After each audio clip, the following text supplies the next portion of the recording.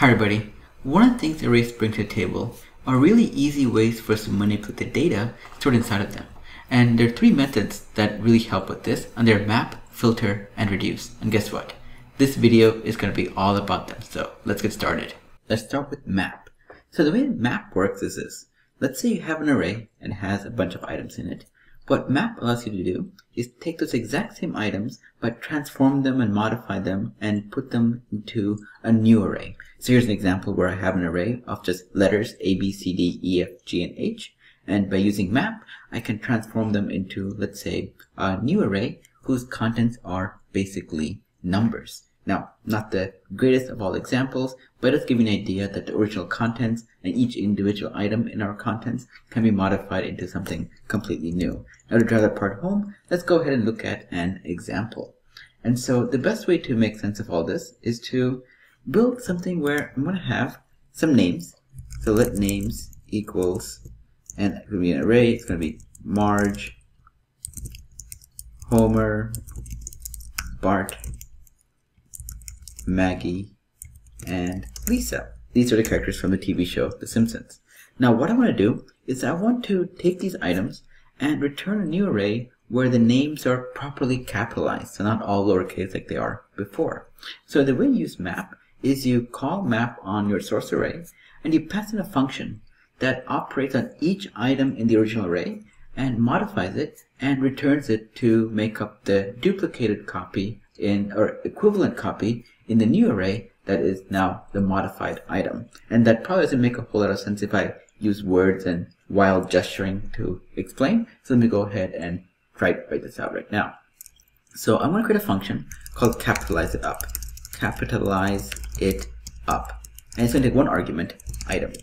And the contents of the item are going to be essentially each array item will be the argument that gets passed into it. So I'm going to have let first letter equal item.char at 0 dot upper case. Now what I'm doing is I'm using some string manipulation methods to say take the first letter of the item and make it uppercase by using the to uppercase method. And I'm going to say let remaining letters equal item dot slice and I'm going to pass an argument of 1. What the slice method does, I'm telling it to start from the second letter, in this case the A-R-G-E, if I'm using Marge as an example, and return all the remaining letters from that to the endpoint. So the first letter, so the second letter to the very end, represented by item.slice.1. And all I'm going to do now is return first letter plus remaining letters. Okay, so simple function, it just gets this item.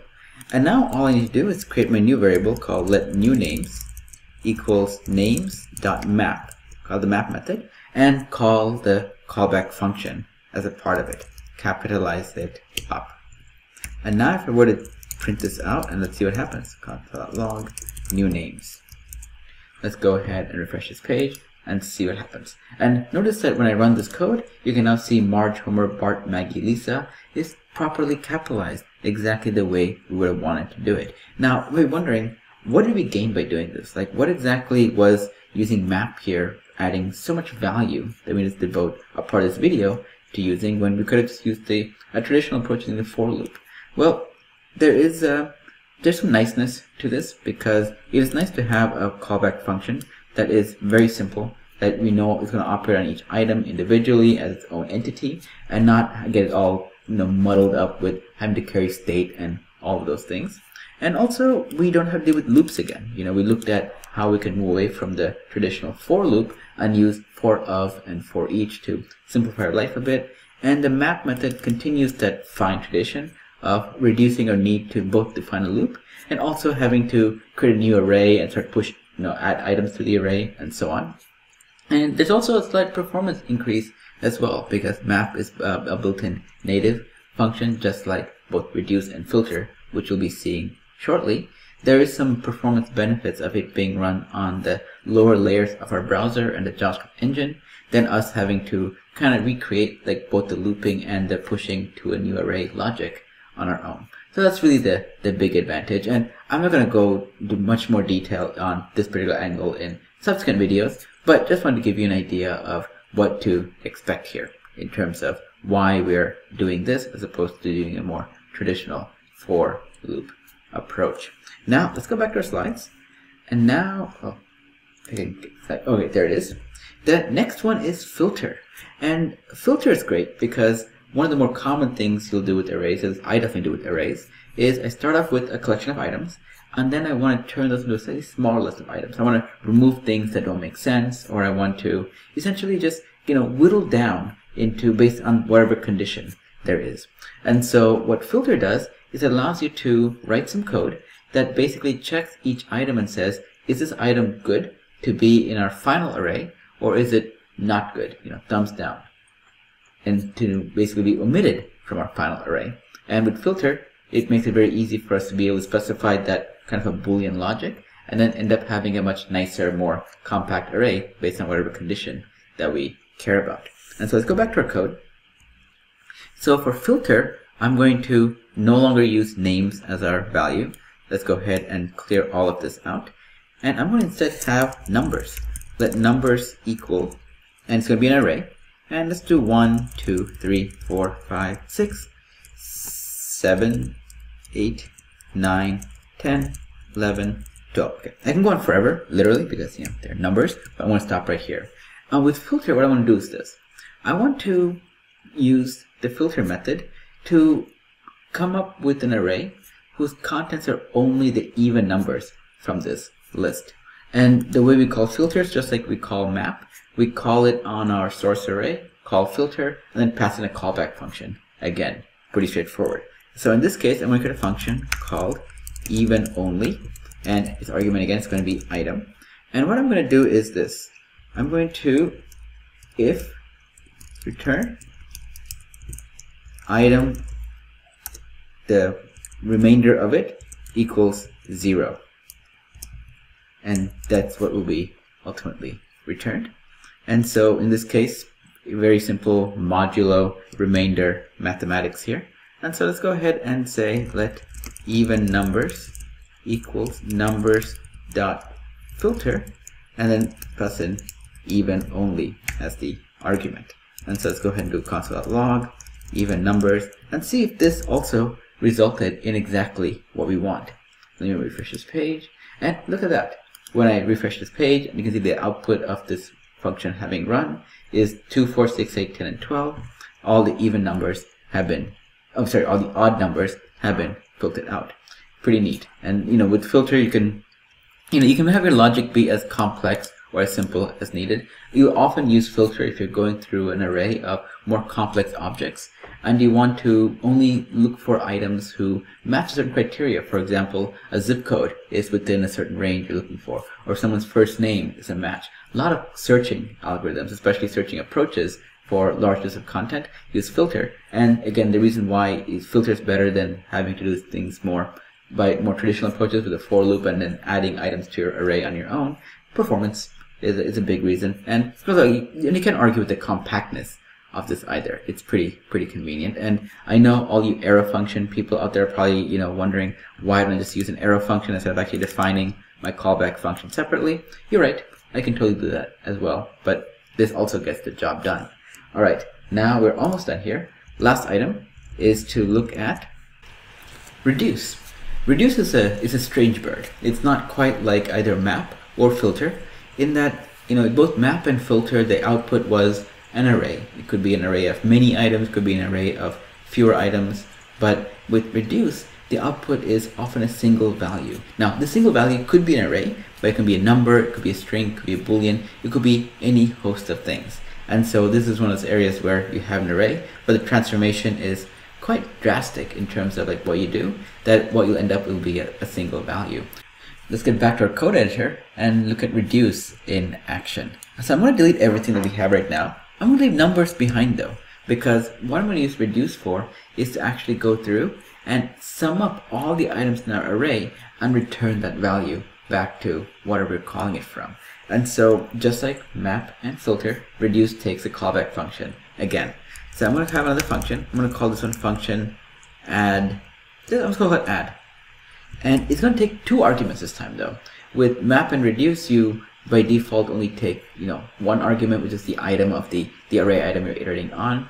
With reduce, you'll be taking two arguments. One of them will be called the, the accumulator, I'm going to call it total, and then the next one will be item. So the first item is again going to be uh, something unique for adding the, the sum of all the actions that we've done so far, and then item will be the, the item you're currently on. So that's pretty straightforward. And so for this, I'm going to do a very simple item, return total plus item. And that's essentially it. And when I run this on the total value, so let total numbers, total number equal numbers dot reduce, just call it add. Let's go ahead and see what this prints out to the screen. Alright, if I do everything correctly, 78 gets printed to the screen. And the way it works is that the first time it runs, the value total is zero and the item number is one. So return essentially adds the total of one. And the second time it runs, the value of total is the return value from the previous run of this particular function, or the previous time this function was called. And so one would be the starting value, then you add two to it, you add three to it, then you, you can see how it goes, where each time you add it, the previous value that it was when it was summed up is stored by the total parameter or argument, and then the current item gets added to it. And so that's how we get the, the value right here. Now with numbers, it's pretty straightforward. I'm just adding two things here, but it doesn't have to be that way. I can also change it to, let's say, letters. And let's say I want to essentially concatenate a string of just vowels. So A, E, I, O, and U. And in this case, I'm going to do function add again. And it's going to be total and item. And that's fine. I don't have to change anything here, right? And what I'm going to do instead is let vowels equals numbers dot reduce add again. In this case, it'd be letters. And if I were to print this to the screen, notice what you see here. You will now see A, E, I, O, U print to the screen instead. So that's an easy way of looking at how the, the reduce method can be used to go from many items to a particular calculation you are looking for. And now here's the thing, like, you know, here I am adding the value. I could be multiplying, I could be dividing, I could be doing any whole, any host of calculations to make this all work appropriately. Okay, I'm pretty sure you'll agree that map, filter, and reduce are pretty awesome. They're simple to use, but they're pretty powerful. We just pass in a callback function, and that callback function can do a whole lot of interesting things, but that doesn't matter. Map, filter, and reduce take care of the, the complicated parts for us, and all we really focus on are how we take our data from one form and turn it into another form. So that's pretty nice. Now, one thing to keep in mind though, is in this video, we covered the most common, most popular parts of map, filter, and reduce. There's some quirks, some edge cases that I did not cover, but that I write about in both the book and in the article on the website for free. And so check out the description below and see the link to the article and you can check it out and make sure you brush up on those things that we didn't cover in the video just in case you run into them as part of your everyday dealings with map, filter, and reduce. Alright. If you have any questions, post in the forums at forum.kirupa.com. Sure, you can post on Twitter or in the comments in YouTube below, but I don't check them for as frequently, so the best way to get an answer that you can find, it also helps others because it can be indexed by search engines and all the other good stuff that comes along with it is to post in the forum. So go there. And if you like this video, like what you saw and the information presented, tell your friends and enemies all about it. The more view count uh, I have, the happier I feel. It's a direct correlation between number of views and how happy I am. Hit subscribe to be notified of cool new videos that I might be making that are relevant to arrays or other web development topics. And related to that, follow me at Kirupa on Twitter and Facebook for more content about arrays and other web development topics and the occasional cat video. So follow me there for some more updates. And lastly, if you'd like to learn from something that's not a video, but more in a printed form, like our ancient forefathers did, well, is ancient forefathers unnecessary to say? Well, doesn't matter. Buy a book. It's cool. There's a Kindle and paperback edition. Check it out, Arrays from Noob to Ninja. You can find on Amazon and other places where books are sold. Which, I don't know, are there any?